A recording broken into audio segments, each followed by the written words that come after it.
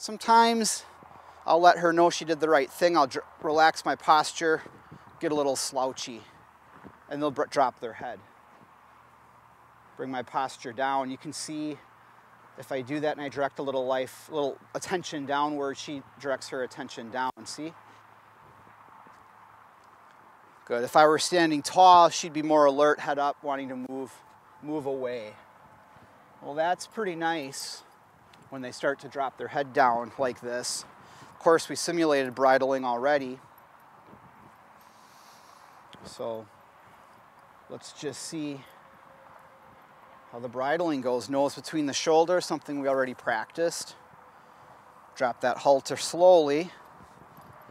See if I can rub the bridge of the nose and the forehead. See if I can direct some attention to me. We'll drop that halter down.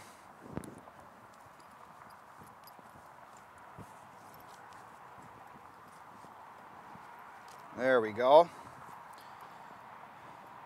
Bring her attention to me slight, just slightly.